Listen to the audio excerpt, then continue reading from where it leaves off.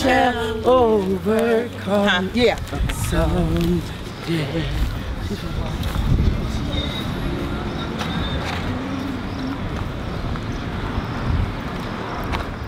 We want um, a public apology um, um, from the police department for, for Benny Warr, and we want the police officers involved to be fired. Um, well, I came out here today to support community call to action for Benny Warr. I think it's really important that there's public display of disapproval of the horrific actions of the police department.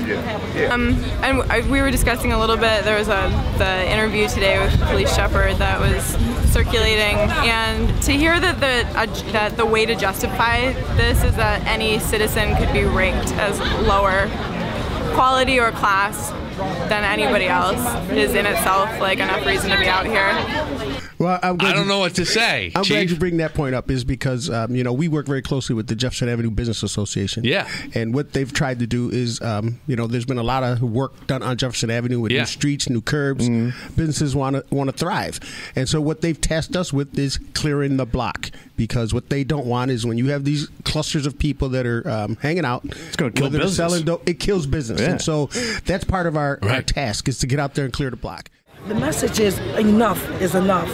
Um, and we know that we're in a, a neighborhood of predominantly, you know, rate and stuff, but you know what? We are people. Um, we are, first of all, and foremost people. And um, so the only way that we can come together, the only way that we can breathe together, if we all come together one unity, one body, one strength. I'm here to support my friend. We, I'm, a, I'm, a, I'm a minister. I'm a pastor, co-pastor of a church. And this church is joined together with that church. It's the several of us.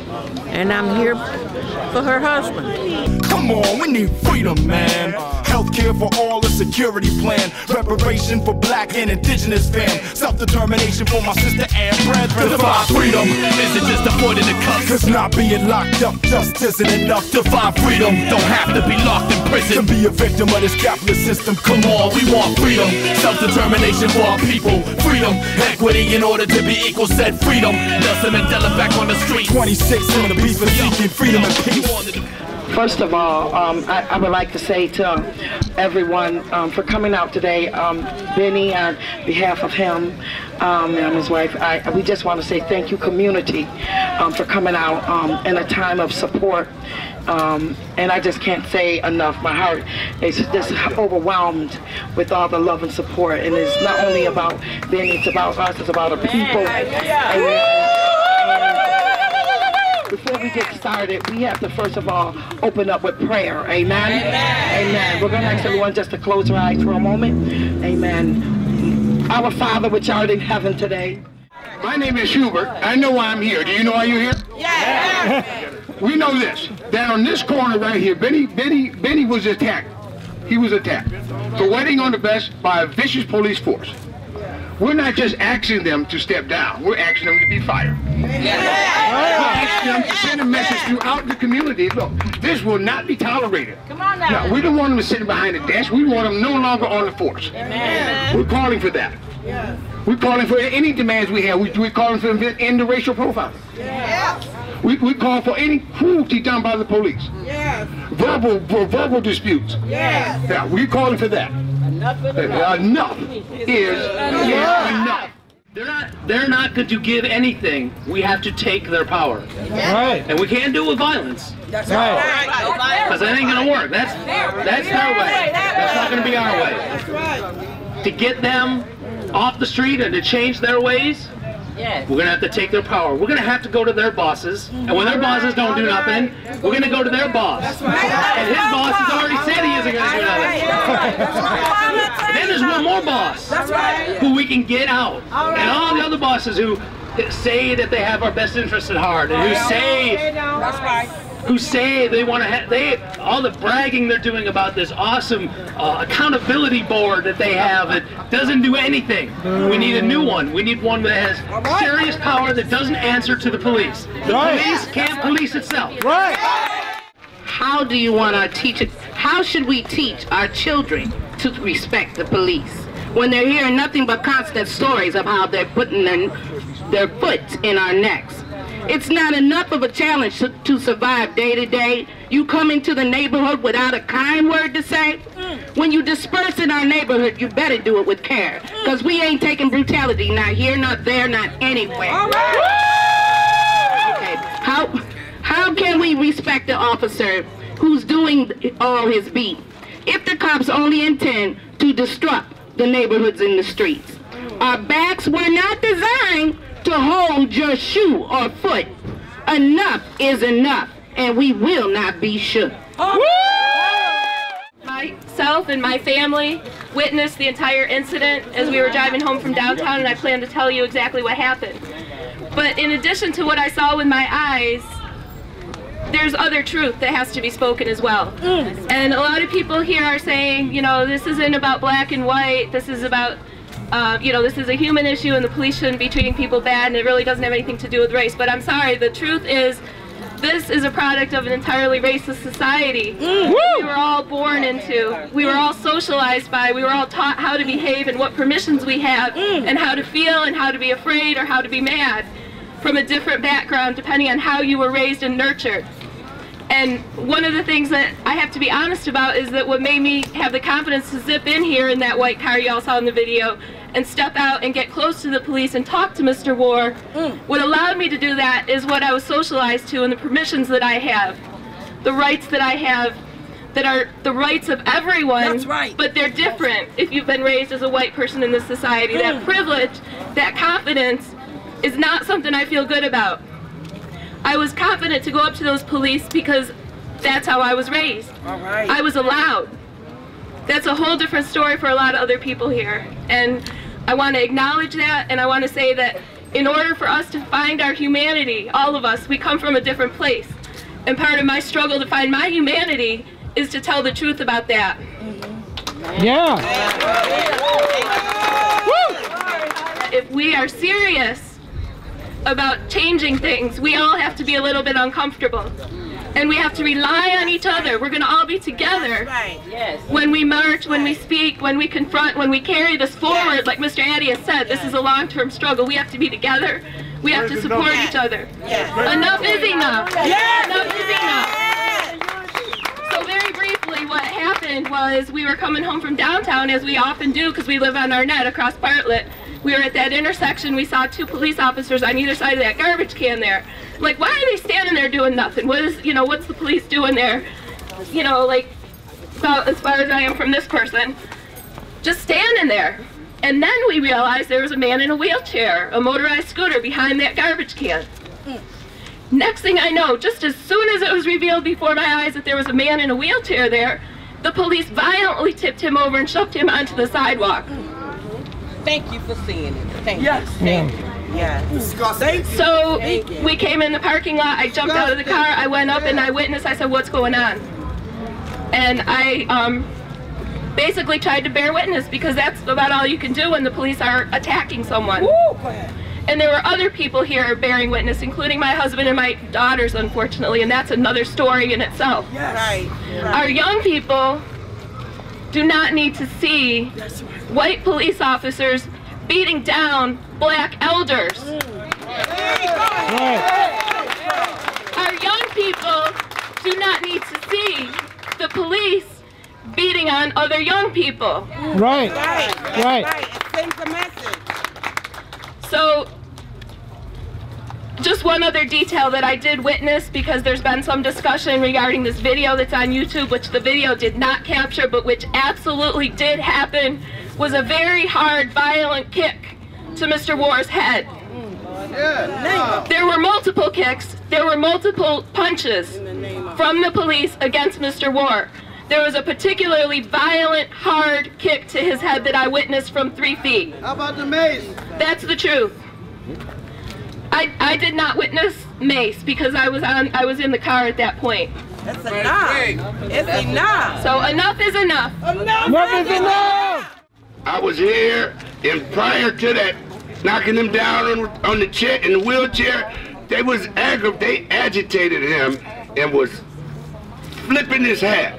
Culturally, that's totally disrespect to a black man, and you know, playing with his hat. it was to aggravate him. If he said something to him, fine. But he said nothing that merited the action to happen after that. Um, I know a lot of us in this community have seen a lot worse, a lot of other things, and we've endured it, and but experienced it. but enough is, is enough. enough. Um, I I had to move just because my wife is a white lady. I'm not white. Get your F ass over out of here. So I had to take my kids and move over here. And the first officer to arrive, he came over here with me and a group of kids, young people, maybe 18, 19, about seven of them. You know what he told him? It's unbelievable. He told him and, and had his finger out, intimidating. He said, is anybody over here worried about him? As if you was even worried about him. You was gonna We're get beat up. You was gonna get beat up or locked up. We all that, worried about That him. was just that was just amazing to me that he could even come out his mouth like that. You know, enough is enough. Um, I say, we've been through a lot already, but this is the straw that broke the camel's back. Yeah. Enough is enough. Um, we have to fight back. Um, this shit is like normalized. And I'm, I'm, gonna tell you, be honest with you, my community, we would have even respected it if he'd have just said, my bad. My bad, I, I lost control. We would have respected that. But you think we got that? No, we got some BS. You know, um, and now, my bad is not good enough. My bad is not good enough. You know, if you'd have said it right then, it would have been acceptable, man. I could just go. I'm still outraged. I'm, I'm really upset that my kids had to witness this and maybe think that this is normal. Actually, it is normal in this community, and that's what we got to stop. Because enough is enough. To find out about this whole situation saddened me very much because if it happened anywhere else, it would be an outrage all over the news. It wouldn't even happen. The cop maybe have got fired that week. But in the city of Rochester, in this area, people accept it, and it's unacceptable. That's right. Enough is enough. Enough is enough. And I'm so happy that everyone is out here right now together because we do have the power. The cop's job is to protect us, to protect and serve. Not to beat on us, not to break our bones, not to slam us, not to brutalize us, and not to verbally attack us. Their job is to protect and serve us. That's right. Are they doing that? No.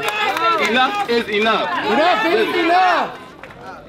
I'm just really happy that everyone's here together. Let's have a good march. Everyone be peaceful, be happy. We have the power to change. We can make change. Woo! Don't feel that because you're from this area, because who you are, the way you look, how much money you make, you can't be changed or you can't make change. You are the change you want to be. God bless.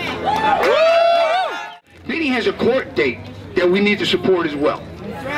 May 30th. May 30th. Judge Miller, 9.30 a.m. Judge Miller, 9.30 a.m. We need to support him in all phases of this. All right. And by and by supporting him, we're supporting you. That's right. This yeah. is not this is not a one man show. Right. But this is like the Rosa Parks because we're just gonna break this open with him. we're gonna start this with him and end it and, and, and, end it throughout the city of Rochester because it's going they're abusing somebody either physically or verbally right now somewhere. In your communities. And when I say communities, you know I'm talking about the hood. They're doing it right now as we speak. So what we're going to have do it done now. Mark, I'm have you speak after the rally, please. We're going to have the older and younger people. I need. I, I think I got to get up there too. the older and younger people line up in front, and we're going to start our march. It's not going to be a lengthy, long march. Unity today is my hallelujah. I told Satan. Get me behind. Film the police. Film, film, film the police. Film the police. No racist police. No justice, no peace. No racist police. Film the police. Film, film, film the police. Film the police. No racist. This has to stop. No the for the underclass. Get the face, name and number on the badge. They flash, we flash back when they act disorderly. React accordingly and capture all that we see.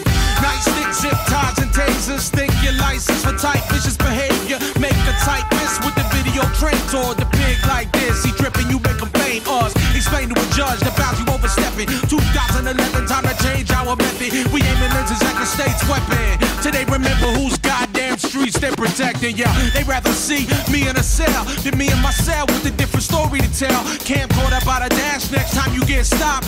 Reach for the celly if you wanna shoot a cop on the public sidewalk. You could take what you see or film from your window with the view of the street. Neighborhood crime watch, we police the police. Uh-uh. They can't arrest the whole community because the streets clock these cops occupying blocks, harassing the homeless with batons and pulling glocks. They stop low for protests and let off shots.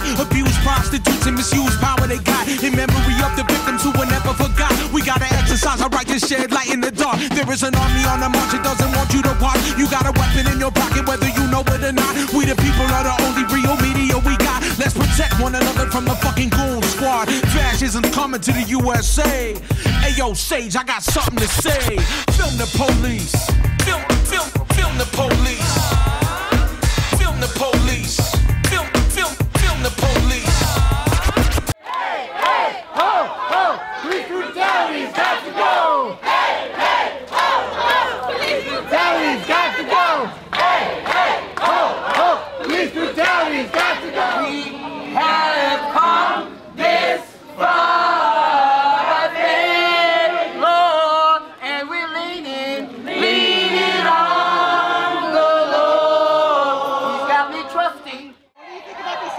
Situation with Benny Warr that happened, this police brutality. And I think it was uncalled for. There's no reason for what I saw on the, the little clip that I did see. That wasn't right. I mean, you, you call the police for to help you, not to hurt you. And who gonna who gonna have faith in somebody that hurting you when you call them? I wouldn't. I'd be scared to call them. want to make a comment about why you came out here today? Tell me your name. And Ron Doucette, um, Benny Warr's a good friend of mine, and I don't like the way they did him. You know what I'm saying? They don't do it in the suburbs, but I come and do it in the city. We live here. They don't. You know what I'm saying? Thank you. Rochester Indymedia. How are you? Did you want to make a comment? I sure, I Okay. sure do. Tell me your name. Hi, my name is Margot Warr. I'm from Buffalo, New York. I'm here to support my brother in the um, the march that we're doing here today, trying to make a difference. The police officers, they all need to quit and stop. How did you, when you first heard the news about what happened to your brother, how did you feel? You know what? I felt hurtful. You know, because I looked at it where that it turned around like Rodney King. He's in he he's uh six feet under. He's resting in peace, but he's turning over behind this. Don't bring that back. We cannot have that to be here anywhere else. Because it could be your child too. How would you feel? How is your brother doing now? He's doing fine, but he's still going through the pain. And you know, and it's sad because when he go through the pain, I go through the pain because that's part of my blood. Do you want to make a comment to Indymedia why you came out today and why this is really important for you? What do we want it? What do we Well, want? Justice! it's just that, you know, this was just totally unacceptable behavior, and there has to be accountability. What would you like to see happen? What part of that process? The, the, the police should say, says the police should be, should be brought to trial. Yeah. Can't take no more. Can't take no more. Can't take no more. Can't take no more. Can't take no more. Can't take no more. And our voice is clear. We will not take abuse from the people we pay to protect us. Enough is enough. Enough is enough. You know, I'm noticing there's, there's, there's, there's no police in the neighborhood. And let, me- let me say this, there's no police needed in the neighborhood. We're being peaceful, we demonstrated against them. This isn't the only incident in the last month. That's right. This happens all the time. And we have to stop accepting it. Enough is enough. Enough is enough. Enough is enough. We all got to stick our foot out there and do something about it. Okay? Because we got young children waking up and we got bad cops out there. So which one is the good ones? We can't support them because they don't support us. So it's a problem somewhere, okay? So let me say this here, make this short. I'm from Buffalo. I'm with other different organizations. They call me Big Mouth Margo, okay? because I tell it like it is and I don't hold nothing back. Okay? Because I could get knocked down, knocked down like the same person can. Okay? But I'm gonna tell you like this here. Speak and do the right thing, raising your children the best way because the system sucks and they need to do some changes. Yeah. When justice is routinely denied and a community is routinely unheard and unlistened to, riot is the natural reaction. So, to avoid that, because I don't think we necessarily want that, right? Right. To avoid that, though, what I think we need is organized social unrest. It's a very different concept, right? It is an organized approach to, to routinely telling these institutions that they cannot continue to act in the way they do in our neighborhoods and in our city without constant resistance. I want to just, one piece I'd like to briefly relay. I, I have people seen Police Chief Sheppard's recent bit on the radio?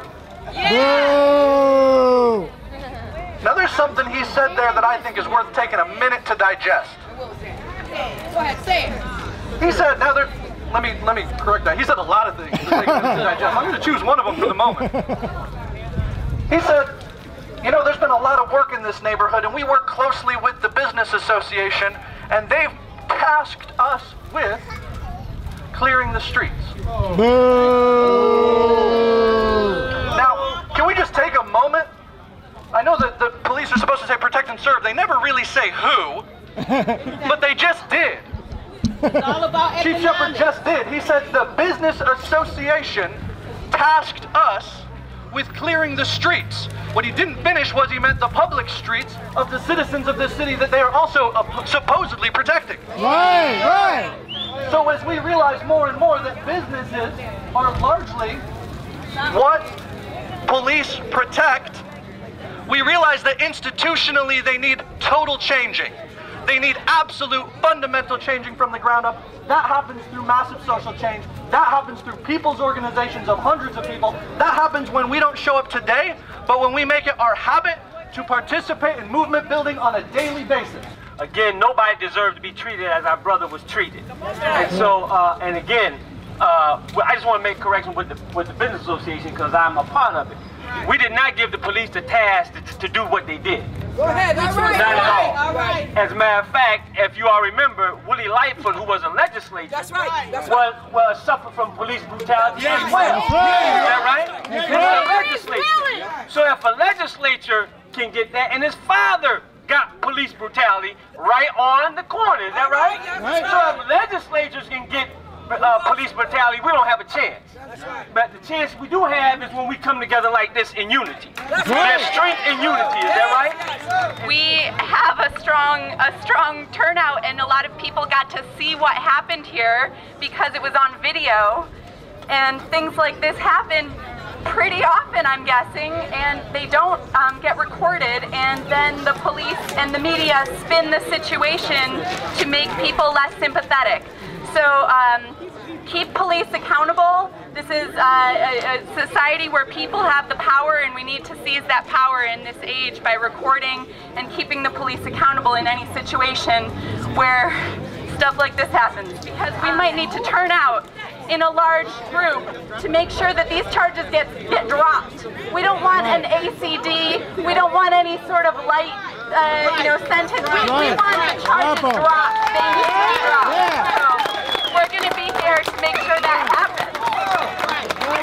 Um, there's one statistic I just found recently. New York City has the horrendous stop and frisk program. You've probably heard a lot about it. In 2007, 55% of marijuana arrests in New York City were people of color.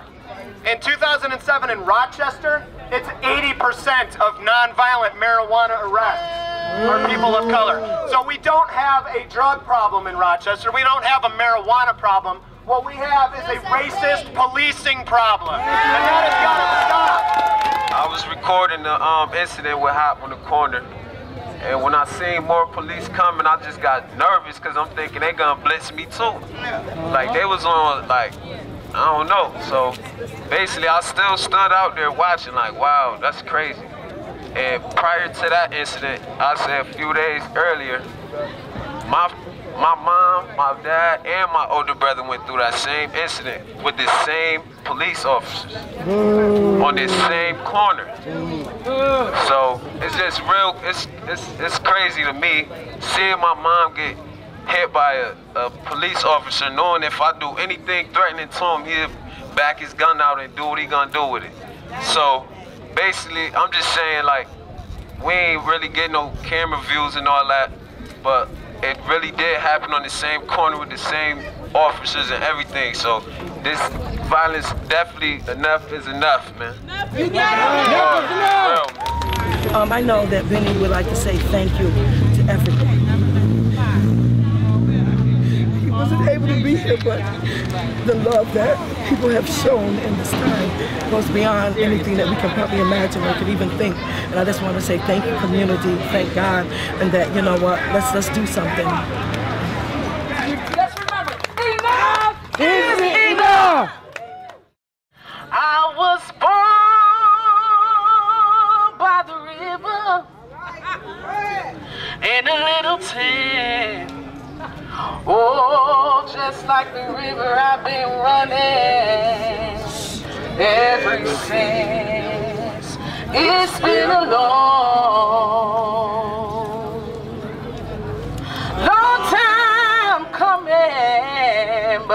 Know a change gonna come. Oh, yes, it will. Y'all clap like this. It's been too hard living, but I'm afraid to die. Cause I don't know what's up there the skies. Look at my hands. It's been a long ride. Long time coming, but I know change gonna come. Oh, yes, it will.